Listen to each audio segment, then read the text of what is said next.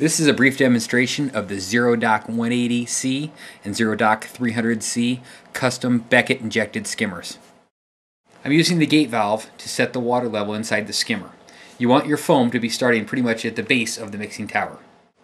After the skimmer is set, you'll see that the bubbles are starting at the base of the tower and rising towards the top. As they reach the top of the tower, they start to condense and you'll see the skimmate start to form on the walls of the mixing tower.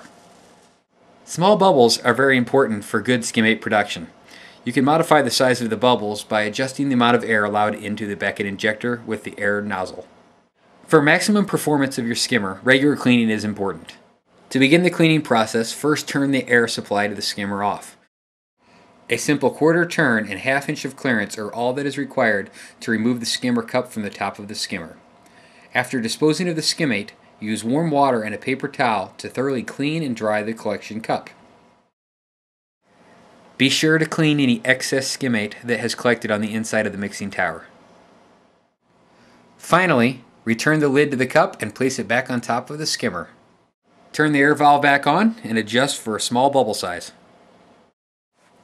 Within a few hours you should see skimmate production beginning to accumulate as usual.